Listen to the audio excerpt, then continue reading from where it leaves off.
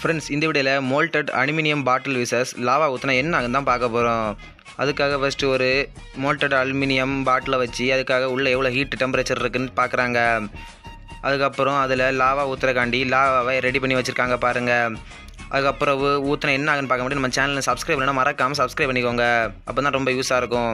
கடைசியில் அந்த லாவாயை அந்த மோல்டட் அலுமினியம் பாட்டிலுக்குள்ளே ஊற்றுறாங்க அந்த மோல்டட் அலுமினியம் பாட்டிலுக்கு ஒன்றுமே ஆகலை. லாவா தீர்ந்தது தான் மிச்சம். கடைசியில் ஃபஸ்ட்டு செக் பண்ணும்போது நூ- வெறும் நூற்றி ஆறு எழுபத்தஞ்சு வரை தான் இருந்து. கடைசியில் லாஸ்ட் டிகிரி செக் பண்ணும்போது நானூற்றி ஐம்பத்தி அஞ்சு வரை போச்சு. இதுலேருந்து என்ன தெரியுது? அலுமினியம் மோல்டட் பாட்டில் ரொம்ப ஸ்ட்ராங்கானது